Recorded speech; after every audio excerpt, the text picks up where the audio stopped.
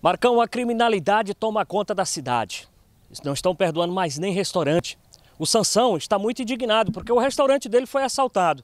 A Catarina, a colega dele, o Toff, estão todos aqui em volta, todos pasmo. Como que podem roubar um restaurante? Meu Deus. Sansão, você está muito chateado, né? Aí ele está falando em, no, na, na língua dele, mas tem o tradutor. Ô João, vem cá, por favor. O Sansão disse para nós aqui que está muito chateado porque roubaram o restaurante. Não tem como, Diniz. Não tem como não ficar chateado, porque.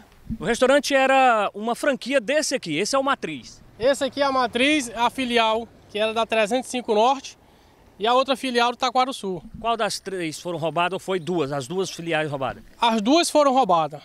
Tem... Que que é isso, rapaz? Criminalidade dessa. As duas filiais roubaram em menos de um mês.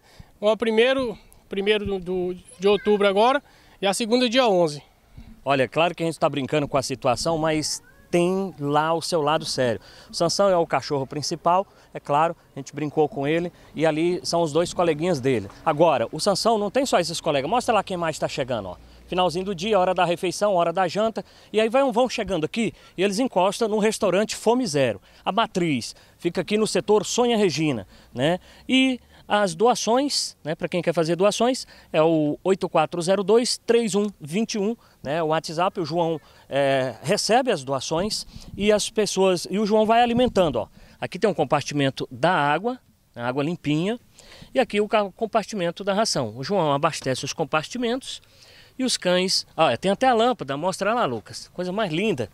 Um restaurantezinho Fome Zero para cães de rua.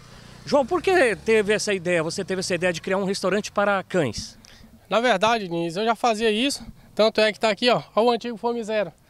Ah, debaixo do pé de manga. Esse aqui que era o antigo Fome Zero. Debaixo do pé de manga você botava comida para os animais? Colocava ração, colocava água e, e, fui notando que as vasilhas iam ficando secas, é. vazia, entendeu? Tanto de água quanto como ração, porque passava durante o dia, a gente ia colocando ia satisfazendo, satisfazendo a fome dos animais. As pessoas fazem doação para esse restaurante? Sim, sim. A, a galera já começou a olhar com outros olhos, não só de admiração, mas também já começou a doar, doar, eu recebo doações de ração, tem uma galera aí que me ajuda também. Esse é o lado bom dos humanos, agora o lado mal vem e rouba a casinha, que rouba é o restaurante dos cães. Não tem utilidade alguma para o ser humano, não tem, entendeu?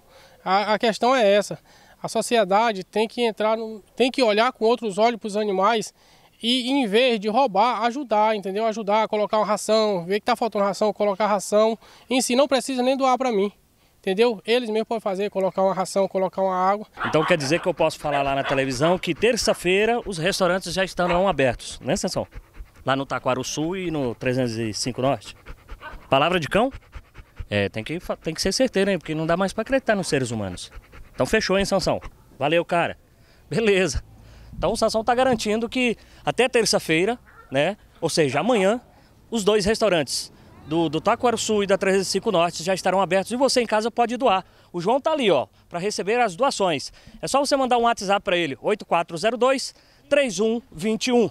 Essas imagens são de Lucas Rodrigues e eu sou Diniz Campelo, do restaurante Fome Zero para o Povo na TV.